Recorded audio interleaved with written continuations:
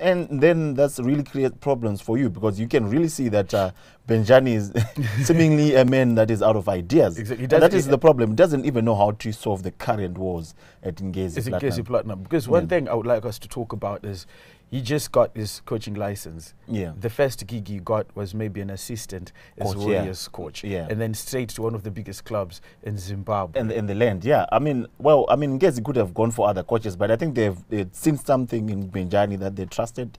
And uh, sometimes when you're starting, uh, you know, you're coaching uh, uh, uh, at a, a team that is in the PSL that is expected to, you know, to actually compete. It tough. It's tough sometimes, but then there is no room for, for, for, for you know for, for error because you need to be picking up the points, and you cannot get enough time more than that he has got already.